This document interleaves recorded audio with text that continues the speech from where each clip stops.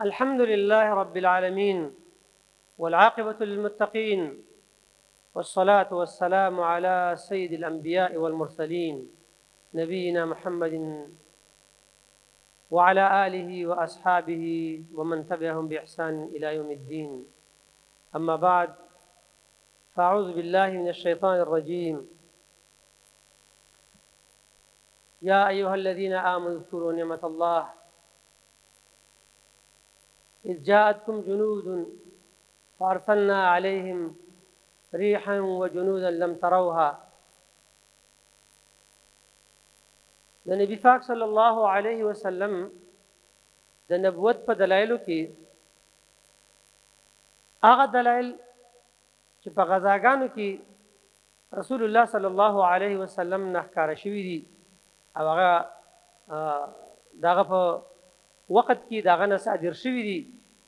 نو ډېرې غزاګانې داسې دي چې په هغې کې رسول اکرم صلی الله علیه وسلم د لاسه دا دلایل قوم ته او صحابه ته الله خودلی دی او دغه شان په تاریخ باندې قران او حدیث کې او په تاریخ کې دا پاتې دي یو د هغې نه غزوة الاحزاب، غزوه خندق، دا ورته هم وایي. په دې آیات کې د دې ذکر دی چې ای ایمان والاو! د الله نعمتونه یاد کړئ، هغه نعمتونه چې کله تاسو ته لښکرې راغلې او چارپېره د هغې نه، مدینې د بره او د لاندې طرف نه، هر طرف نه تاسو یې محاصره کړئ، هغه لښکرې چې تاسو باندې راغلې، هغه نعمتونه یاد کړئ چې الله رب العالمین د هغه لښکرو نه تاسو خلاص کړئ، د هغې نه تاسو له نجات درکړ. غزوه خندق او غزوه الاحزاب چې ده دا په شپږم کال له هجرت باندې واقع شوی و پنځم شپږم کال له هجرت باندې دا واقع وشوه دا داسې وشو چې بنو نذیر دا د یهود یو قوم دی دی د مدینه سره خواته اوسېدل دوی نبی صلی الله علیه وسلم جلا وطن کړ د خلاف ورزۍ په وجه باندې چې دوی هغه وعده ماته کړې وه او مرګ یې کړی و نو هغه بیا د نبی صلی الله علیه وسلم د د مرګ او د هغې د قتل او د صحابو د قتل ترتیب ونیو نو بیا الله نبی صلی الله علیه وسلم ته خبر ورکو چې دوی داسې ستا د مرګ انتظام کړی دی دې نه پاڅېږه نو هغه بیا لاړو نبی صلی الله علیه وسلم هغوی محاصره کړ په هغه ځای باندې بنو نضیر محاصره شو، ډېر وخته پورې محاصره و او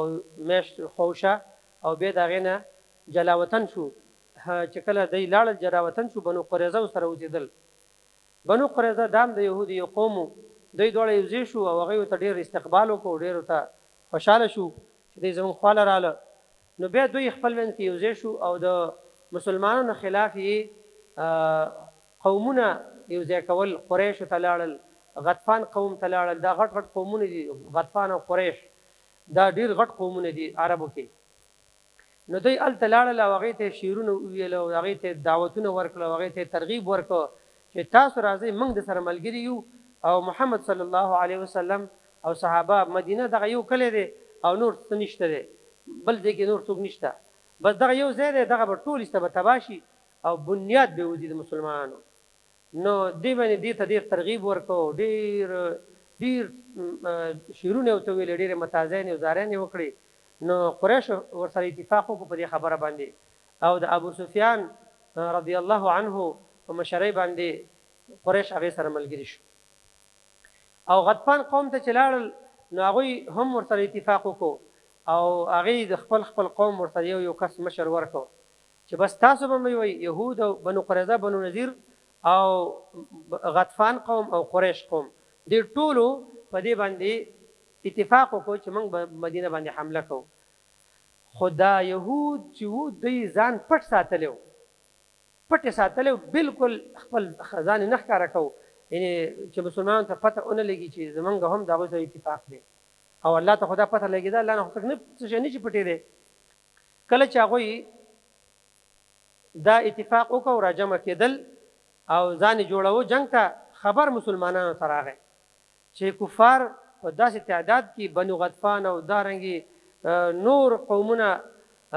ټول احزاب چې دي دا یوځای شوي دي د مشرکینو او خلاف د مسلمانانو باندې حمله کوي په مدینه او دی بنیاد وباسي. نبي صلی الله علیه وسلم ته چې خبر راغی نو زر یې صحابه را جمع کړه او مشوره یې وغوښته د صحابه کرامو نه چې اوس به څه کوو؟ په مشوره کې یو صحابي دی سلمان فارسي رضی الله تعالی عنه سلمان فارسي یعنی د فارس دی نو دا لوی طاقت په هغه وخت کې د فارس دا کلی چې دی دا ملک چې دی دا د دغه ځای نه راغلی وو او د دې واقعه هم ډېره یو عجیبه ده او ډېر یو عبرتونه په کې دي نو هغه هم په کار دا ده چې خبر شي دا قوم مسلمان ترې نه سلمان رضی الله تعالی عنه وایي زه د یو نواب زوی وم او ډېر یو دیندار سړی وو چې هغه د خپل دین باندې ډېر مضبوط ولاړو مجوسیانو د مجوسیانو په دین باندې وو مجوسی وو او دا زما پلار چې وو زه به دې د دغه ته ګران وم دې خپل پلار ته نو زه دې مجوسیان اور بلې یا د اور عبادت کوي آتش پرست دي دا نو زه به دې اور ته ناستم او دا اور به ما بلو دې دې اور دغه ما ته اسپارلې و ځکه دا د دوی د عبادتګاه وه نو دلته به نور خلک مو زه دې اور د بلولو انچارج وم پلار به راباندې ډېر تاکید کاوه، راته ویل به یې چې بچیه ګوره چېرته به اخوا دېخوا نه ځې، ته ماته ګران یې. و یوه ورځ مې پلار چېرته یو ابادۍ کې مشغول شو او ماته ویل چې ته فلاني ځي له لاړ شه، هغه فصل د هغه زمیندارې له لاړ شه، ته هغه کار وکړه، خو چې لار کې ایسار نه شې بېرته به زر راځې. و زه چې لاړم، لار کې روان یم، چې ګورم نو یو وړه غوندې جومپړه ده او په هغې کې خلک ناست دي، عبادت کوي، نصارا دي. وې زه وه ښکاره مې سر وچوک کې ومې کتل نو هغوی عبادت کوو مونځونه کول ذکرونه یې کول ما له د هغوی عبادت ډېر زیات ها مزه راکړه خوند یې راکړ نو زه هم هلته کې کېناستم هغې سره مزه یې راکړه ورسره ناست یم ناست یم ناست یم تر دې چې ماښام شو چې ناوخته رالم پلار مې راته قار دی چې ګوره ته ما هغه وخت لېږلی اوس رالې ما تاته نه ویلې وې پلار ته مې وې چې بابا دلته مې داسې خلک ولیدل او عبادت یې کوو او ډېر خوند یې راکړ او والله چې دغه هغه دین زمونږ نه ښه دی وای ما وای چې نه بچې هغه وای پلار مې راته وای چې نه نه دا ښه نه دی زمونږ دا دین ښه دی او چې پلار د د نیکه دین دې پرې نه دی ګوره دا بهتر دین دی او زه وای خپه کې راله دغه واچو زنجیر او زه یې ایثار کړم چې ته چېرته رانه لاړ نه شي نو ایثار یې کړم وای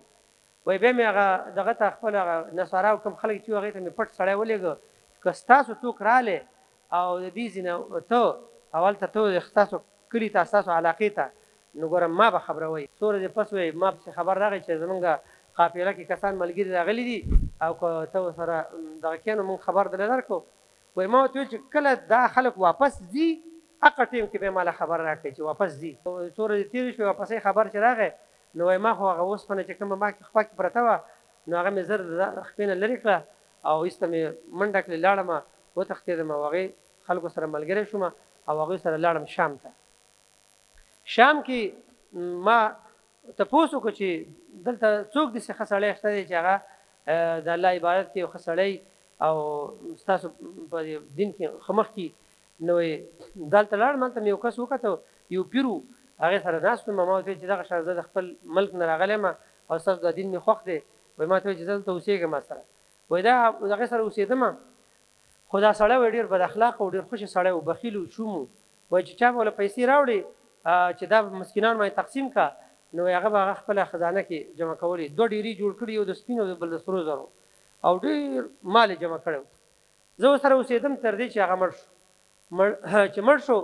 نو ما خلک راله او دې تکفین یې کوو دغه یې کوو خښوي وایي ما خلکو ته وي چې دا ډېر بد سړی و او د دې دونه قدر مه کوئ دا ډېر ناولی سړی تاسو چې څونه صدقې ورکړې دي هغه ټول یې خښې کړي دي او ځان یې خزانه کړي دي که یقین هم نه راځي دا یې خزانې دي خزانې ورته وښودې وایي بس د هغې نه هغې ورته په قار شو هغه یې وسېزه او هغه یې دغه کو بل سړی کېنو په دې ځای باندې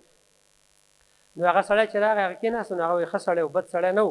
زه د ایران نه داسې راغلی یم په دې ترتیب باندې او ستاسو دا دین مې خوښ و، فلاني نه دې تا ته پاتې شوم نو اوس ته ستا د وفات نه وروسته به ما ته ته څوک ښیې چې زه هغې سره کېنم؟ وایي هغه ما ته ویلي چې ای بنیه! هغې نه مخکې موصل کې راته ځای وښود موصل ته لاړم موصل کې چې کېناستم هغه سړي سره هغه ته مې دا خپله قصه وکړه نو هغې ویل چې ما سره اوسېږه صحیح ده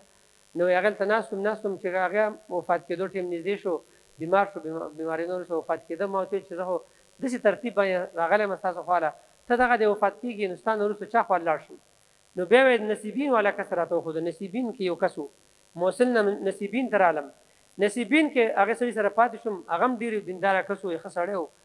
نو هغه هم بیمار شو او ورځې یې لنډې وې نو هغه هم بیا وفات شو وفات کېدو نه مخکې ما ورته وویل چې اوس ستا نه وروسته به زه چا خواله ځم؟ وایي هغه راته وویل چې. چې هغې له رالم نو هغې ته مې وویل چې داسې پلاني ستا خواته رالېږلی یم او داسې زه دې ترتیب باندې ستا ته راورسېدم، یو مړ کېږي بل له راځم داسې ترتیب باندې، که ستا خوښه وي زه به تا سره اوسېږم، وایي بلکل ما سره اوسېږه. نو وایي هغې نه وروسته چې هغه هم کله د وفات کېدو په ټېم کې شو نو ما ورته وویل چې اوس ماته تاسو کوم ځای ښیئ وایي چې زه هلته لاړ شم، وایي ماته وایي چې بچيه دا وخت نږدې شوی دی کوم چې عربو کې پيغمبر مونږ سره په دې کتاب کې دي چې هغه پيغمبر راځي عربو کې نو هغه وخت را نږدې شوی دی او ته چې کوم دی دا يو کس دی چې مکه کې به پيدا کيږي مکې نه به هجرت کوي مدينې ته مدينه د کجورو او دارنګه سرسبزه او باغداره ځمکه ده ته به هلته ځې هلته به ځان رسوې. نو دا زه تاته وصیت کوم چی ان شاء الله وخت هغه را نږدې دی ته هلته ځان ورسوه وای ما ویل ښه هلته می مزدوری مزدوری وکړه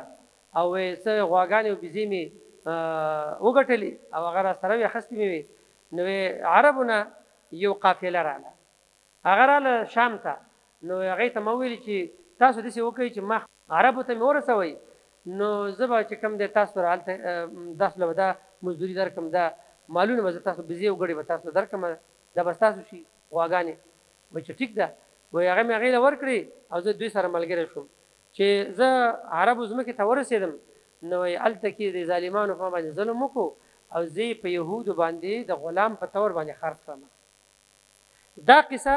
سلمان فارسي رضی الله عنه عبدالله ابن عباس رضی الله عنهما ته کوي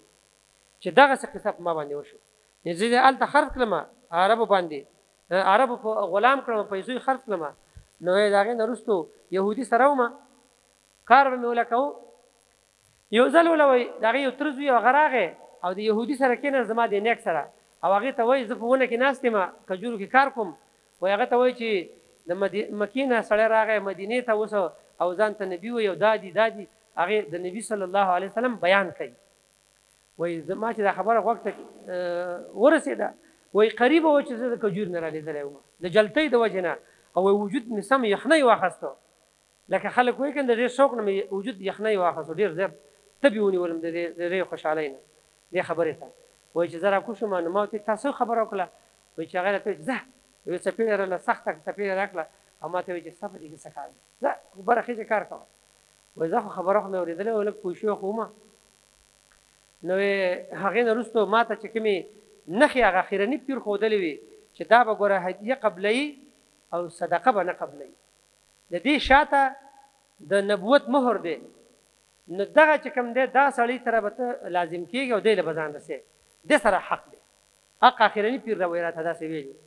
نو دا نښې راته ښوولې وي نو یې ما کجوري جمع کړې وي او د شپې رالم رسول الله صلی الله علیه وسلم خواته سلام کلام وشو نو یې ما ورته چې یا رسول الله دا صدقه ده او ما کړې ده خپلې مزدورۍ نه نو هغه مې هغې له ورکړلې چې ورمې کړې نبي علیه السلام هغه ونه خوړې او ملګرو ته یې چې دا وخورئ تاسو. ویې ویل چې ښه دا یوه خو پکې وموندې شوه دا یوه علامه. بل ځل چې بیا رالم نو بیا ما رسول الله صلی الله علیه وسلم ته کجورې راوړې او ما ویل چې یا رسول الله دا چې کوم دی هدیه ده. نو ویې رسول الله صلی الله علیه وسلم پخپله هم وخوړلې او نورو ملګرو له یې هم ورکړې چې دا تاسو وخورئ. ویې ویل چې دا بله علامه هم پکې پیدا شوه. چې هغه به صدقه نه خوري هدیه به خوري وایي د هغې نه وروسته بیا زه بله ورځ رالم نبي صلی الله علیه وسلم خواته او شاته شاته ورته کېدم پټ پټ کېدم د دې لپاره چې زه دا مهر ووینم وایي نبي علیه السلام زما په دغه باندې پوه شو چې سلمان دا څه غواړي وایي زه یې د خپلې اوږې نه څادر کوز کړو او ما ته هغه دغه وښودو مهر نبوت وښودو